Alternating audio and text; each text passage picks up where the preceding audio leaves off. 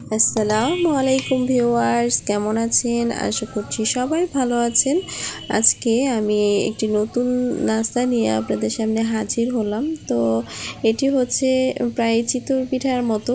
আমি চিতর পিঠাতে যেরকম ডিম দিয়ে বানাই, আমি তেমন ঝাল পিঠার মধ্যে একটি ডিম ছেড়ে দিয়েছি। আর এটি আমি এভাবে ঢেকে দিয়েছিলাম, যার কারণে এভাবেই সিদ্ধ হয়ে গেছে। তো আমি যেটা করেছি চুলার মধ্যে হচ্ছে রুটিটা ছেড়ে এর মধ্যে আমি একটি ডিম দিয়ে দিয়েছি আর এভাবে করে ঢেকে দিয়েছি। তাতে করে আমার ডিমটা এরকম সেদ্ধ হয়ে যাবে। এটা হাফ এখন চুলায় বসানো আর একটি আরেকটি রুটি। তো এভাবে আমি ঢেকে দিয়েছিলাম, সেটি অর্ধেক বয়েল হয়েছে। তো আমি এই পর্যায়ে একটু লবণ ছিটিয়ে দেব আর এর মধ্যেই হয়ে যাবে। তো মাঝখানে আমি আপনাদের সাথে দেখালাম আর এটি একটি আমার ছেলে খাবে আর একটি আমি খাব। তো একটি আমি একটু বেশি সেদ্ধ করব আর একটি কম। যেটি আমি প্রথমে উঠে ফেলেছি, সেটি সেটি একটু কম সেদ্ধ করা সেটা আমি খাব। আর এটা একটু ফুল বয়েল করব আমি। সেজন্য আমি আর একটু ঢেকে ভালোভাবে এটা ঢেকে দেব। তাহলে ভেতরটা ভালোভাবে সিদ্ধ হবে। তো আমি আবার ঢেকে দিচ্ছি। আর চতুর্দিকে আমি একটু তেল দিয়ে দিয়েছি যাতে রুটিটা ভালোভাবে ভাজা হয়ে যায়। তো আমার ডিমটা ভালোভাবে সিদ্ধ হচ্ছে। তো আমি এভাবেই আমার যখন যেভাবে ইচ্ছে করে, মাঝে মধ্যে আমি ঝাল ছাড়া এভাবে নন স্টিকে রুটি বানিয়ে খাই, আবার মাঝে মধ্যে ঝাল রুটি খাই, আবার মাঝে মধ্যে একসাথে রুটির মধ্যে গুলিও দিয়ে দিই।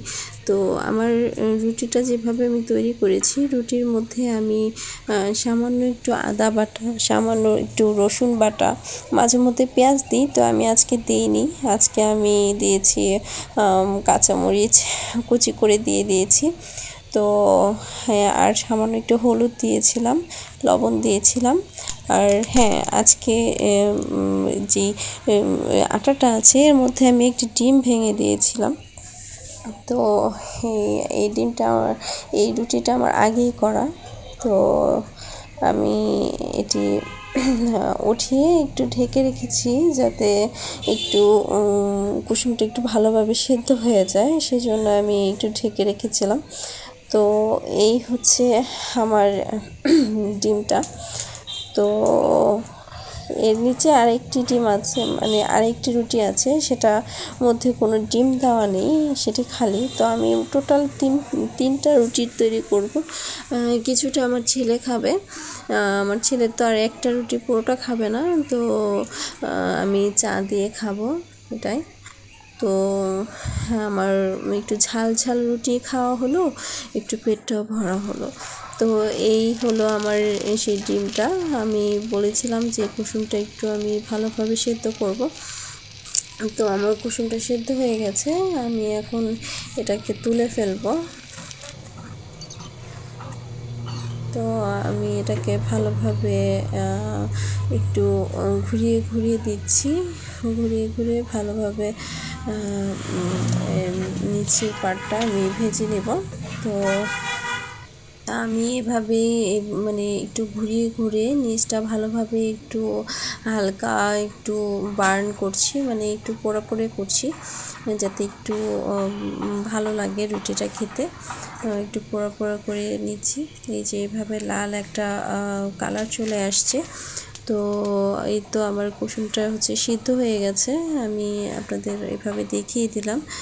তো আমার কাঁচামরিচটা একটু বড় বড় ফালি করার কারণ হচ্ছে এটা হচ্ছে আমার ছেলে খাবে সেজন্য। তো এই হচ্ছে আমার চা আবার আমি শশা খাব। ডায়েটে আছি তাই। আর এখানে আমার রুটিগুলো খুব ভালো লাগছে। দেখুন।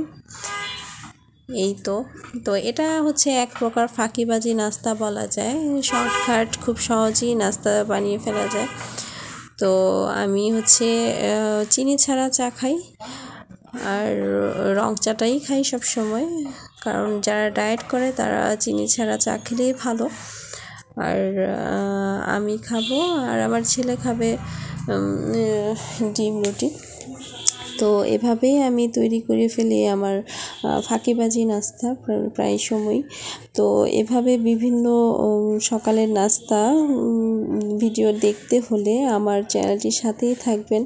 আমার চ্যানেলটি অবশ্যই সাবস্ক্রাইব করবেন আর ভিডিওটি শেয়ার করবেন, লাইক, কমেন্টস এবং শেয়ার করে আমার সাথেই থাকবেন। আর এতক্ষণ ধৈর্য ধরে আমার ভিডিওটি দেখার জন্য আপনাদের অনেক অনেক ধন্যবাদ। আর এভাবেই আমাকে সাপোর্ট করবেন। আর আমার সাপোর্ট করার জন্য আমাকে প্লিজ আমার চ্যানেলটি একটু সাবস্ক্রাইব করবেন। আমার কথায় কোনো ভুল ত্রুটি হলে ক্ষমা সুন্দর দৃষ্টিতে দেখবেন। তো আপনাদের সবাইকে চায়ের শুভেচ্ছা রইল।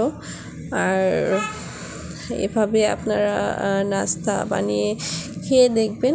আর কেমন হলো সেটা আমাকে অবশ্যই জানাবেন। তো প্রায়ই আমি এভাবে ফাঁকিবাজি নাস্তা বিভিন্নভাবেই বানিয়ে থাকি, তা আপনাদের সাথে অবশ্যই শেয়ার করব। তো আজকে এ পর্যন্তই, ভালো থাকবেন, সুস্থ থাকবেন, অবশ্যই সাবস্ক্রাইব করবেন। আল্লাহ হাফেজ!